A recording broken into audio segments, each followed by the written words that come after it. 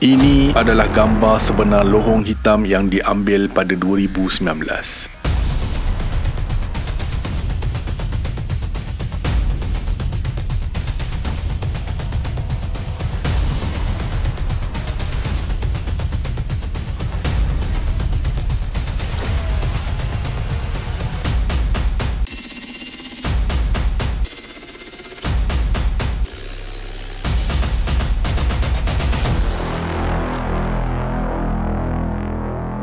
Lohong hitam bukan lagi satu teori, akan tetapi fakta. Ekspedisi Eddington pada tahun 1919 mencatat sejarah dalam usaha meneroka sama ada graviti berupaya melenturkan cahaya. Ujian utama teori kenisbian arm Einstein dengan melihat gerhana matahari penuh Saintis menyimpulkan bahawa matahari telah mengubah laluan cahaya bintang seperti yang diramalkan sekaligus menjadikan Einstein dan teorinya terkenal di seluruh dunia. Kini satu abad kemudian, saintis telah pergi semula ke lokasi yang lebih terpencil yang tersebar di empat benua. Mereka sekali lagi mengorak langkah kejayaan dunia astronomi dengan menguji teori yang sama dengan cara yang tidak pernah dibayangkan oleh Einstein kita akan mempelajari bagaimana saintis berjaya mencerap imej pertama lohong hitam mencatatkan sejarah dari sebuah ramalan kepada fakta. Lohong hitam itu wujud dengan gambar asli yang berjaya dirakam. Sebelum tu, jangan lupa subscribe Astrolab dan on loceng notifikasi anda. Assalamualaikum dan salam angkasa dari Astrolab. Sekilas fakta, Misi saintis ke sana adalah untuk mengambil gambar lohong hitam. Cita-cita yang boleh dikatakan mustahil untuk digapai. Kisah lohong hitam bermula sebagai teka-teki. Pada tahun 1915, Carl Schwarzschild menyedari bahawa teori kenisbian arm Einstein yang baru ketika itu meramalkan kewujudan objek aneh yang dikenali sebagai titik ketunggalan terdapat tempat di mana persamaan barunya yang menggambarkan graviti seolah-olah tidak tentu hala. Di dalam lohong hitam itu terdapat tempat yang aneh di mana masa berhenti dan ruang menjadi tidak terhad. Pada masa itu, ramai saintis termasuk Einstein menganggap mereka terlalu pelik untuk diselidik secara serius. Walau bagaimanapun sepanjang 100 tahun sejak itu, telah banyak bukti yang dapat dikaitkan dengan kewujudan titik ketunggalan sebagai lohong hitam. Lohong hitam adalah objek paling misteri di alam semesta. Apabila jirim berada dalam ruang yang begitu kecil dan ia sangat tumpat, sehinggakan daya graviti menghalang cahaya daripada terlepas. Ia seolah-olah pintu sehala dari alam semesta kita tanpa jalan keluar. Saintis tahu ia berada di tengah-tengah galaksi dan ia memacu cara galaksi tersebut berkembang dan cara galaksi tersebut mati. Ia menelan gas dan bintang. Pemerhatian melalui makmal ekstrim memerlukan instrumen yang hebat. Graviti besar lohong hitam adalah halangan untuk melihatnya secara langsung. Tiada cahaya yang dapat melepaskan diri darinya dan titik ketunggalan adalah kecil dan gelap yang menghancurkan sejumlah besar jirim. Walaupun kewujudan objek yang paling aneh ini semakin diterima secara meluas, melihatnya secara langsung kekal sebagai impian yang mustahil. Malah, untuk mencapai resolusi yang diperlukan untuk melihat lohong hitam secara langsung, sebuah teleskop perlulah memiliki saiz sebesar bumi jelas terlalu besar untuk dilaksanakan. Sebaliknya ahli astronomi menghabiskan beberapa dekad untuk mengkaji kesan lohong hitam terhadap jirim di sekelilingnya. Tetapi impian untuk mendapatkan lebih banyak bukti konkret mengenai objek eksotik ini terlalu mengasyikkan untuk dilupakan begitu saja. Pada akhir tahun 1960-an, teknik baru mengubah perihal astronomi. Ia dipanggil interferometri garis pangkal amat panjang. Ia membolehkan beberapa teleskop melakukan cerapan sebagai satu pasukan. Membawa kepada teleskop maya yang lebih besar mengatasi kekangan pada saiz teleskop. Apabila kaedah ini tersebar, semakin jelas kemungkinan pengimejan secara terus lohong hitam dapat dilaksanakan pada tahun 2009, projek teleskop Event Horizon EHT dimulakan untuk mengejar matlamat yang menarik ini. Sudah jelas dari awal lagi bahawa EHT akan menghadapi halangan yang unik dan saintis berdedikasi untuk mendedahkan lohong hitam buat kali pertama. Untuk mendapatkan imej ini, 8 teleskop di seluruh dunia telah dihubungkan bersama.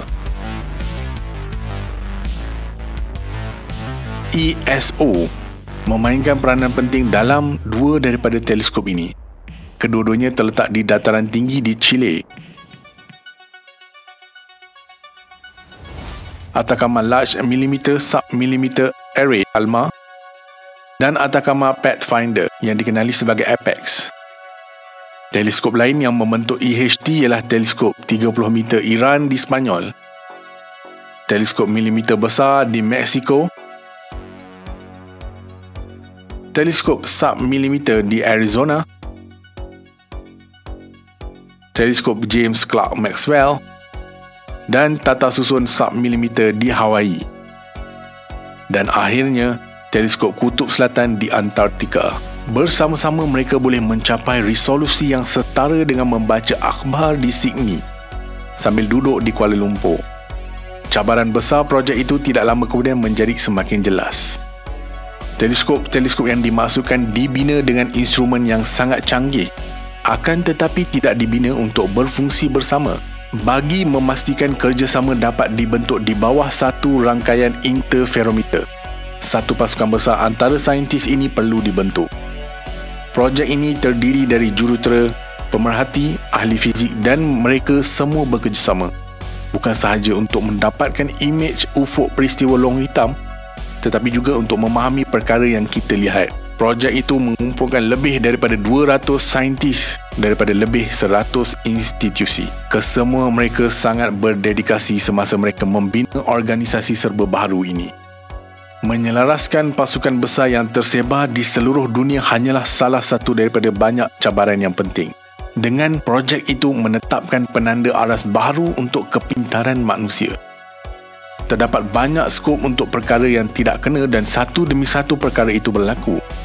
Kegagalan peralatan, kegagalan kuasa, pemacu keras tidak mencukupi untuk menyimpan data percaya atau tidak pada satu ketika beberapa saintis telah bertikam lidah sewaktu melakukan cerapan. Tidak lama kemudian projek itu berada dalam keadaan yang teruk. Lokasi teleskop juga memberikan cabaran praktikal yang besar. Persekitaran yang terbaik untuk melihat langit malam selalunya merupakan tempat yang paling sukar untuk membina balai cerap. Teleskop EHT tidak terkecuali. Terdapat tapak terpencil yang tersebar di empat benua, termasuk balai cerap di gurun Atacama, Chile yang tandus, dataran beku di Antartika dan di atas gunung berapi yang tidak aktif di Hawaii.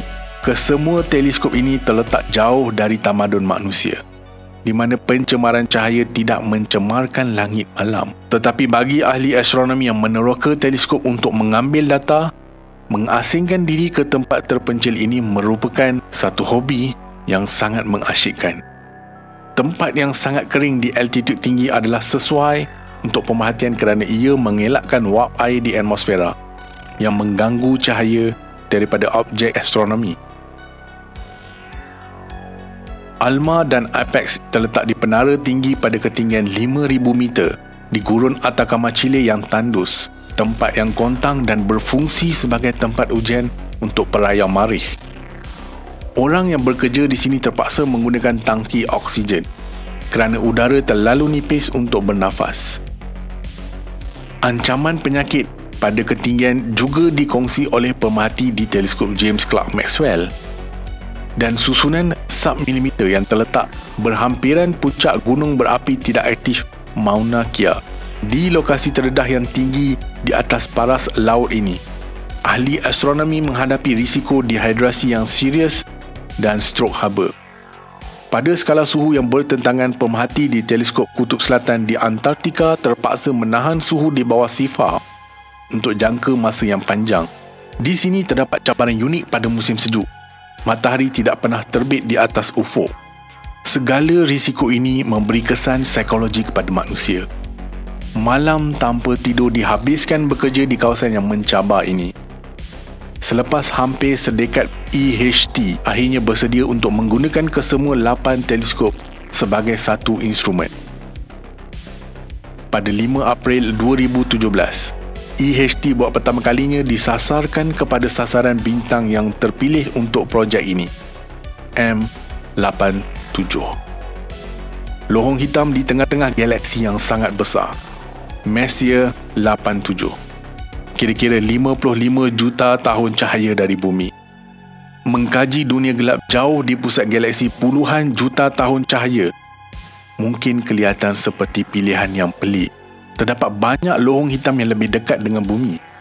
Tetapi bintang M87 dipilih dengan teliti. Ia mempunyai dua kelebihan besar. Ia adalah salah satu lohong hitam terbesar yang diketahui.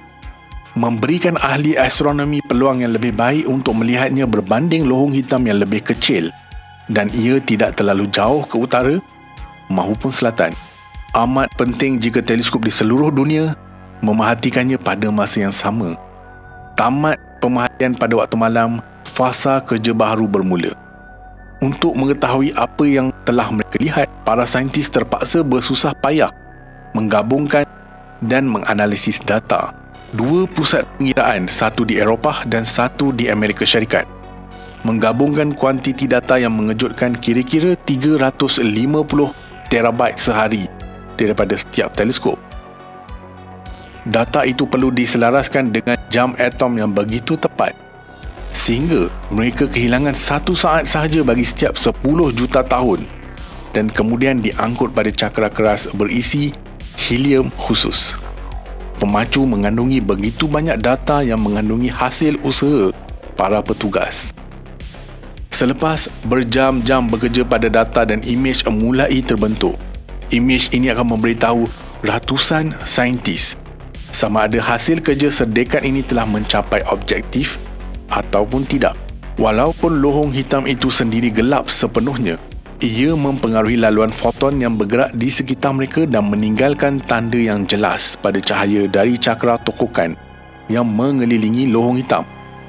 Cakra besar jirim secara beransur-ansur berputar ke arah perumahnya jirim yang masuk menjadi sangat pekat menyebabkan geseran memanaskannya untuk membentuk plasma bercahaya. Laluan cahaya yang dipancarkan oleh gas bercahaya ini ditentukan oleh lohong hitam.